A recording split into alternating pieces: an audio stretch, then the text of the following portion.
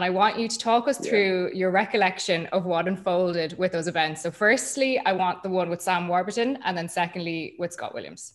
Um, Sam Warburton. Um, do you know what? I think that was more so in the week leading up to that game. Obviously, you pick out guys um, who are talisman, um, really important to, to Wales or, or the team you're playing against. Um, guys you kind of want to focus on um, in terms of your game plan and, and, things like that, especially in your, your defence. Um, guys you want to give time space to, guys you want to send a message to the rest of their teammates, you know, by hitting them hard and giving them no time and space. And he was one of those guys, obviously being the captain. We'd, we'd um, uh, targeted as a talisman, um, so we wanted to get in his face. Um, there was question marks about his um, maybe his toughness, if, if uh, that's the right thing to say. Not from me, more. Uh, I can say it now, Mike. Five, we're six years down the line now, so it's all right, pal. yeah, um, I, I, think he's a tough player. So um, there was question marks of, of, whether he would he would um, fold on under a bit of pressure, a bit of um, physical uh, intimidation. Nothing, nothing um, above the line and, and illegal. And the player, be, be the, the way I am as a player and things like that, obviously that sticks in your mind. And a little, uh, a little, um, not really a scrap. It was a bit of a push and shove.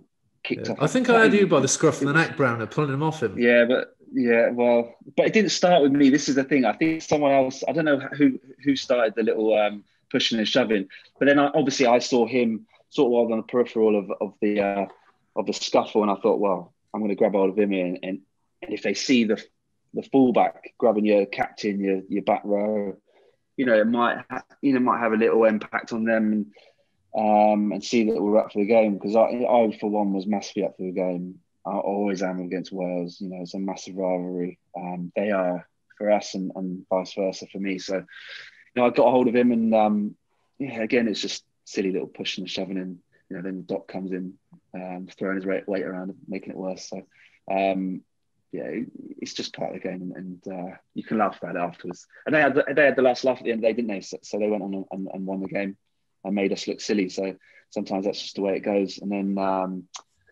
yeah, I guess the Scott Williams one. Um, I'm guessing you're talking about when he nearly scored in the corner. That was Underhill's cover, you know, unbelievable cover tackle, wasn't it? I took a bit of heat after the game because obviously when he didn't score, I was pretty pleased, um, as you would be. And if it was vice versa, and there has been times against Wales and other other teams as well, when you do something wrong, you give away a penalty, you knock on, you make a mistake, you know, the, the other team let you know about it and and happy you've done that or you know, get in your face about it. And I think it's just one of them for me, you know. Scott, uh, Jamie knows him better than I do, but when I played against him, he's a kind of like me where you know he doesn't take a backward step. He, he gives a bit of chat, um, gets in your face. Um, all things that are all part of the game for me, and and um, you know I enjoy I, I enjoy that physical confrontation. I, I, enjoy that challenge from the opposition, and he's that sort of player as well. And he's done it to me in, in the past. Nothing nothing major. Um, so obviously I, I was happy with it that he didn't score and um, made sure he could see that I was. Well, Jamie, what are your memories of that 2015 World Cup match? Did Mike really just, you know, was he not the instigator or what can you remember from it?